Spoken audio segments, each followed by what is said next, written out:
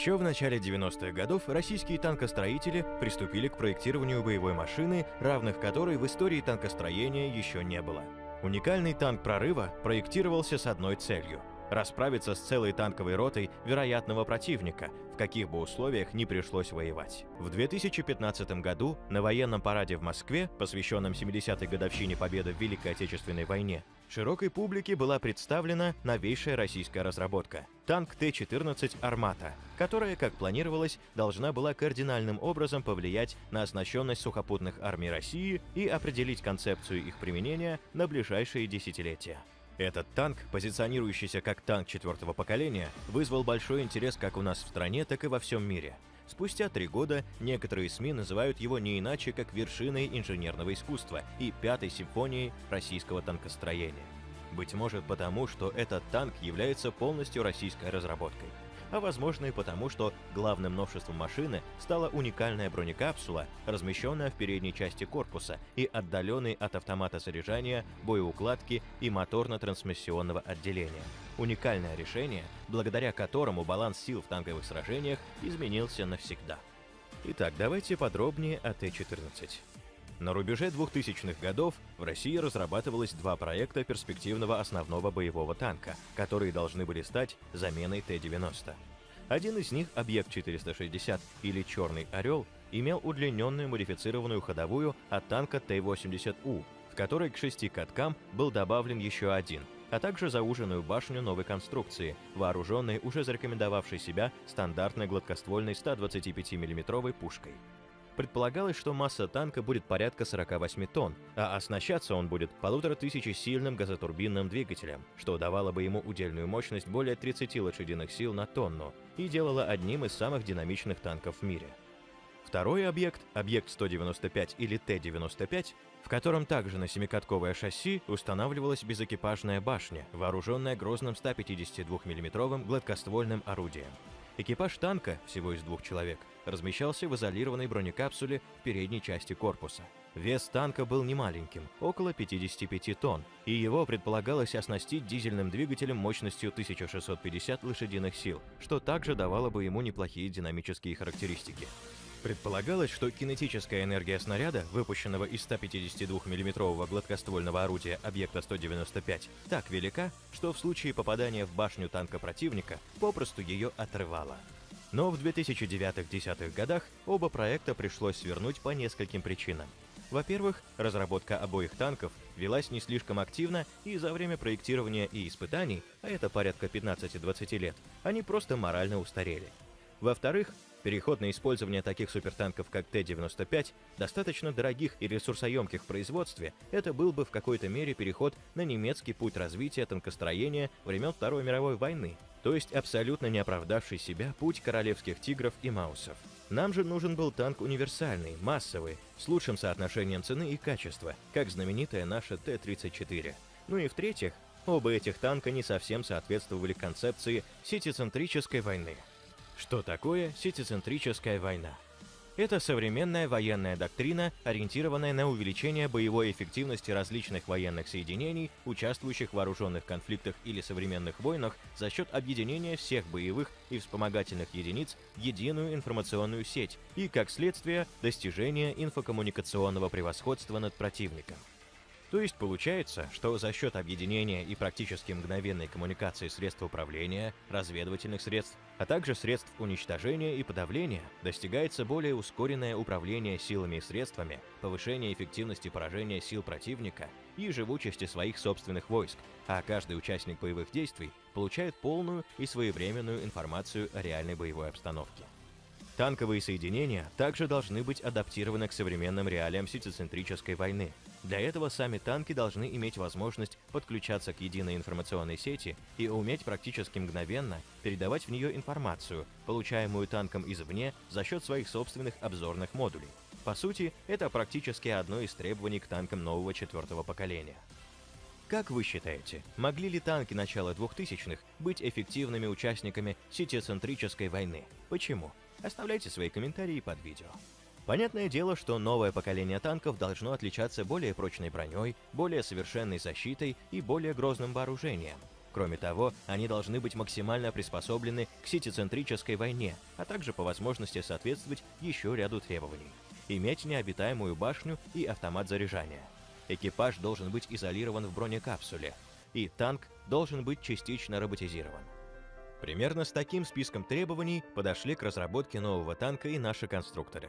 Когда в 2010 году после свертывания проектов «Объект-195» и «Объект-640» они получили задание в максимально сжатые сроки спроектировать танк нового поколения.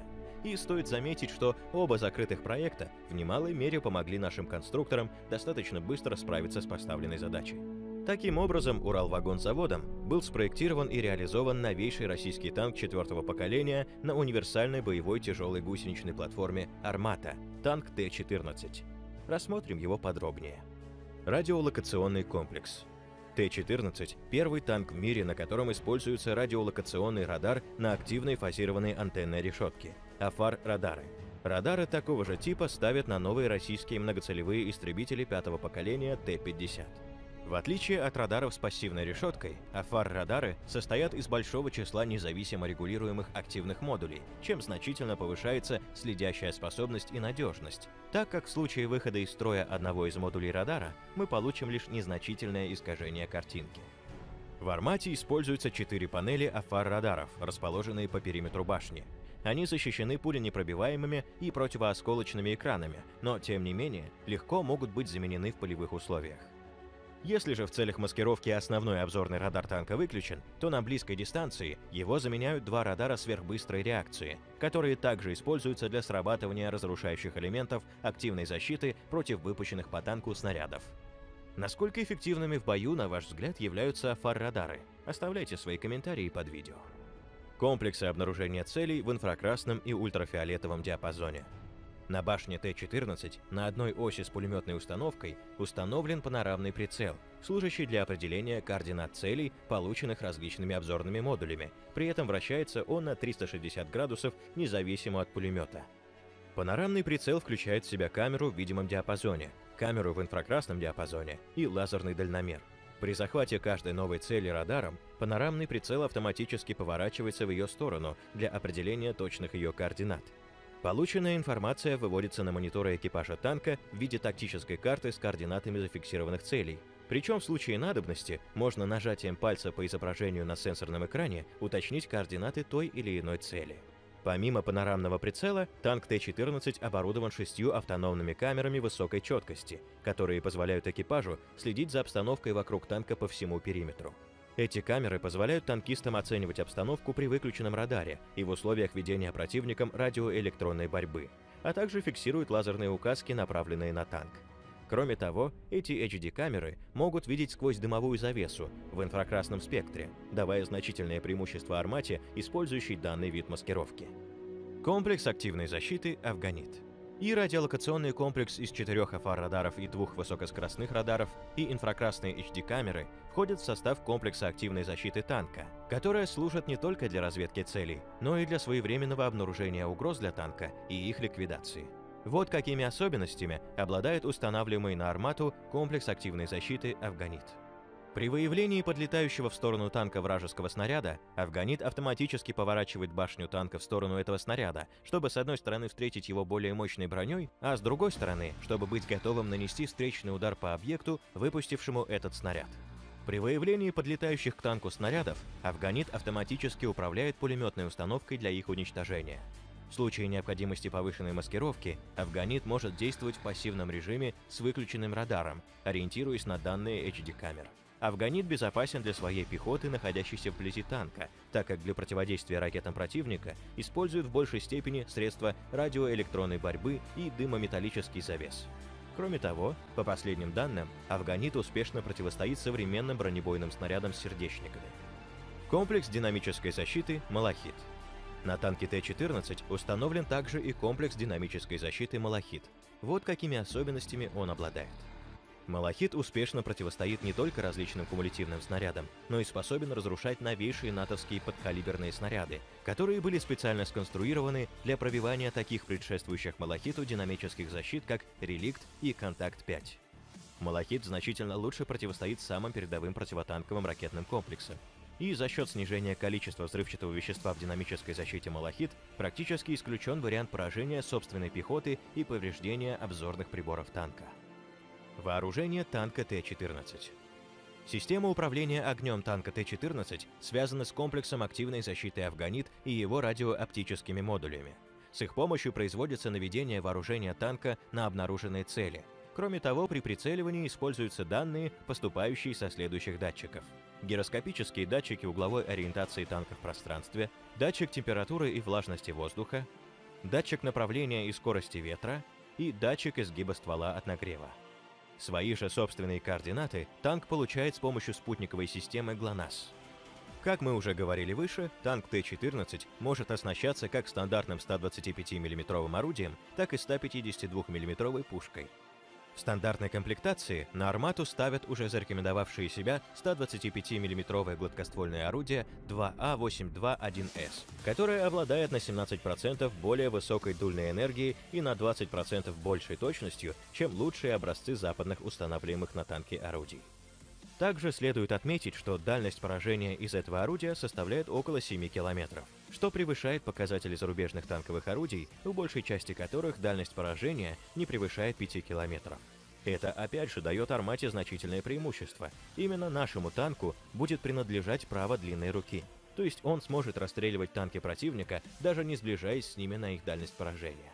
Кроме того, орудие 2А-82 имеет возможность стрелять боеприпасами до 1 метра длиной, Например, такими как подкалиберные бронебойные снаряды повышенного могущества «Вакуум-1». На Т-14 устанавливается автомат заряжания на 32 снаряда, за счет чего достигается скорострельность в 10-12 выстрелов в минуту.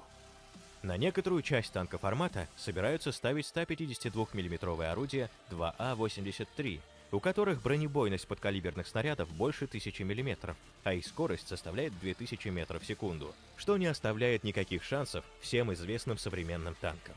Кроме того, как утверждают руководители корпорации «Уралвагонзавод», кинетическая энергия снаряда 152 мм орудия такова, что чаще будет просто отрывать башню поражаемого вражеского танка. Оба орудия позволяют использовать свой ствол для запуска управляемых ракет – Предполагается, что для 152 мм орудия могут использоваться ракеты с бронебойностью до 1500 мм и дальностью действия до 10 тысяч метров, которые могут поражать как наземные, так и воздушные цели. Часть экспертов при этом указывают на возможность использования на вооруженных 152 мм орудием танках Т-14 управляемых активно-реактивных снарядов с дальностью действия до 30 км, что превращает такую армату в танк огневой поддержки с использованием как против вражеской пехоты, так и против сильно защищенных объектов противника. А вы согласны с мнением экспертов? Оставляйте свои комментарии под видео. Из пулеметного вооружения на армату ставится крупнокалиберный 12,7 мм пулемет «Корт», управляемый экипажем дистанционно и входящий в комплекс активной защиты «Афганит», а также 7,62 мм пулемет Калашникова, спаренный с танковым орудием. Причем для перезарядки корда имеется специальная автоматизированная система, не требующая участия членов экипажа.